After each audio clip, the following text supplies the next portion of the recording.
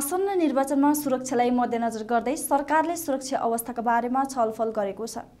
गृहमन्त्री बालकृष्ण खाँडको अध्यक्षतामा बिहिबार बसेको केन्द्रीय सुरक्षा समितिको बैठकमा समसामयिक सुरक्षाको अवस्था र आगामी दिनका सुरक्षा चुनौतीका विषयमा छलफल भएको हो। बैठकमा राष्ट्रिय सभाको निर्वाचन तथा आसन्न स्थानीय तहको निर्वाचनमा गरिने सुरक्षा तयारीका बारेमा छलफल भएको गृह मन्त्रालयका प्रवक्ता प्रदीप कुमार कोइरालाले जानकारी दिनुभयो। बैठकमा तराई मधेसका क्षेत्रमा सिके राउत समूहका गतिविधिका बारेमा तथा कोरोना सङ्क्रमणका बारेमा पनि छलफल भएको छ।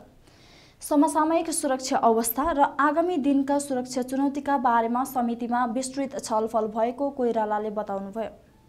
माननीय गृहमन्त्रीज्यूको अध्यक्षतामा केन्द्रीय सुरक्षा समितिको बैठक बस्यो र यस बैठकमा त समसामयिक सुरक्षाको अवस्था र आगामी दिनका सुरक्षा चुनौतीका विषयमा छलफल गरियो।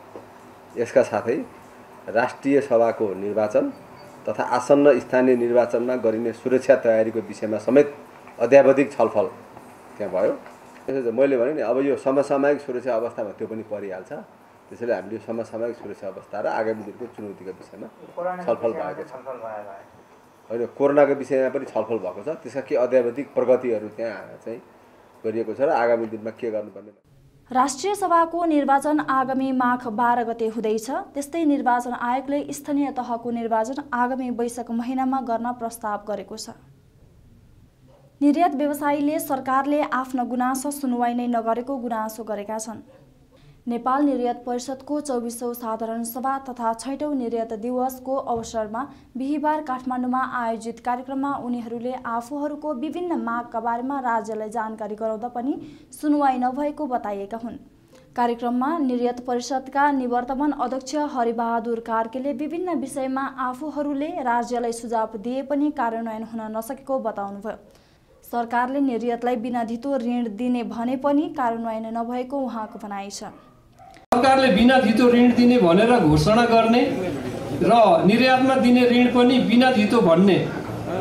तर कार्यान्वयन पक्ष फितलो भएकोले सो फितलोपन हटाई कार्यान्वयनमा सहजता ल्याउनु पर्ने भन्ने छ। नेपाली वस्तुहरूको प्रवर्धनका लागि हामीले अल्पकालीन मध्यकालीन र दीर्घकालीन कार्ययोजना गरी कार्यान्वयनमा ल्याउने भन्ने हामीले माग गरेका छौँ। हामीले विभिन्न फोरमहरूमा नेपाल सरकारले को नीति नियम उहाँहरूले सुझाव माग्दाखेरि पनि हामीले यो कुराहरू हामीले दिइसकेको अवस्था छ। हामीले चौतिस बुधे सुझाव पनि पेस गरिसकेको अवस्था हो।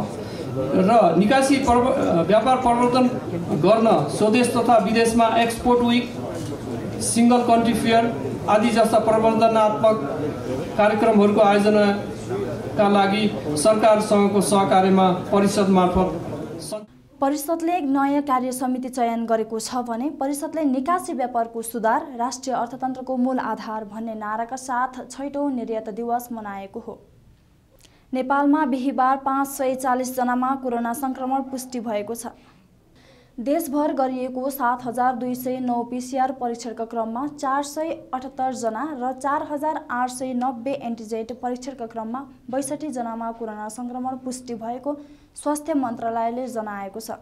यो सँगै नेपालमा कोरोना सङ्क्रमितको सङ्ख्या नौ लाख छब्बिस हजार नौ सय पच्चिस पुगेको छ। त्यस्तै कोरोनाका कारण थप एकजनाको मृत्यु भएको छ। हालसम्म नेपालमा एघार हजार छ सय दुईजनाले कोरोनाका कारण ज्यान गुमाएका छन्। त्यस्तै थप दुई सय एकहत्तर सङ्क्रमित निको हुँदा हालसम्म नेपालमा आठ लाख तेह्र हजार चार सय सडचालिस सङ्क्रमित निको भएका छन्। हाल नेपालमा पाँच हजार चार सय एकतिस सक्रिय सङ्क्रमित आइसोलेसन र एक सय तेह्रजना क्वारेन्टाइनमा रहेको मन्त्रालयले जनाएको छ।